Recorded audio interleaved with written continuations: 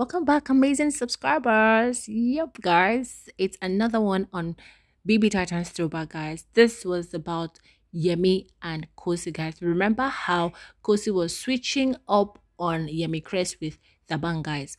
Yemi finally got to know about it, and this was him, yes, trying to iron things out with Thabang and Khosi. He said he didn't know that Khosi was actually, you know, going about flirting with Thabang all in the house. And yes, I mean, if it was she really wants, she could go for him, right?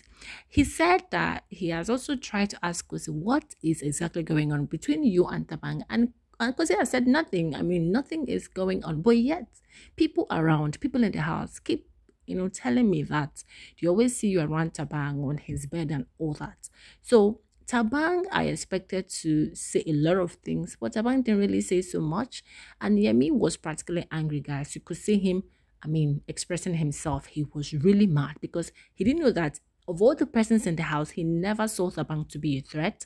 And he didn't know that Khosi, of all the men, would go would go for Thabang. I mean, considering that he is young, right? But I mean, the heart knows what it wants.